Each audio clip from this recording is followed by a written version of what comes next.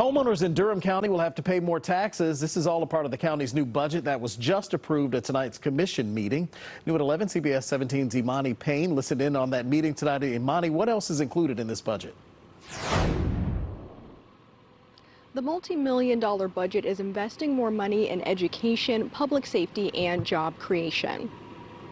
We made many tough decisions. Tonight, the Durham County Commissioners approving a more than $700 million budget. Approved in the budget a one cent property tax increase. That extra penny raising the property tax rate from around 71 to 72 cents per $100 of property value.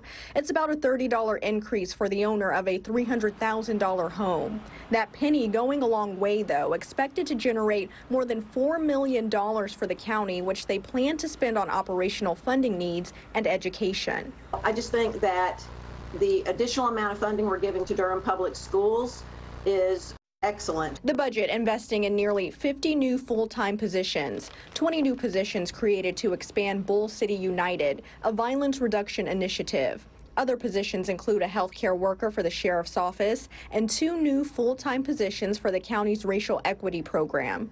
However, the county commissioner is still hoping to tackle other areas of concern in the months ahead, including 911 call response times. I've also requested an analysis of our 911 calls, an assessment of county funding for our 911 call center. Still, county leaders feel this budget is a step in the right direction.